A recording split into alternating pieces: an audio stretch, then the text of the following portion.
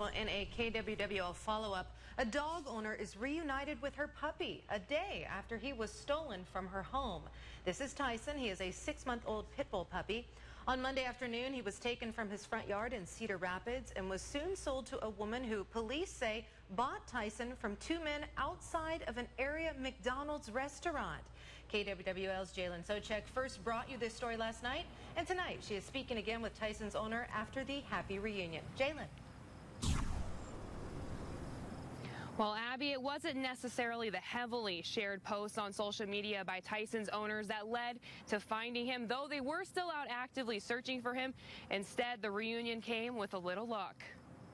Destiny Stucker is feeling a whole lot better than she did 24 hours ago. Instead, she's overwhelmingly happy. Finding her puppy Tyson a day after he was stolen from her front yard. They had been sniffing out clues all day, but finding him was pure luck.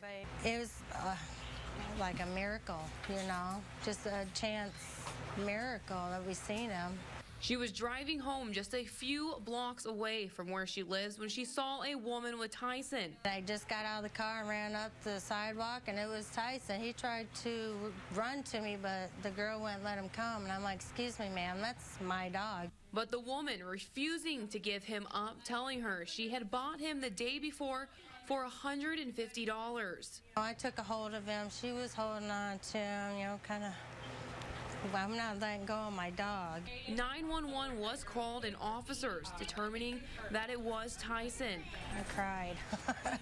I just cried. I was so happy. You know, I was wanted my dog. Tyson now appearing very happy to be back home. His sister Sadie, too. But the ordeal isn't lost on Destiny, who says she's afraid to let her dogs back outside. I don't want it to happen again. I don't want it to happen to somebody else's dogs either. You know, they're still out there. Just because I got my dog back and I'm happy about that, don't get me wrong, doesn't mean it's not going to happen to somebody else.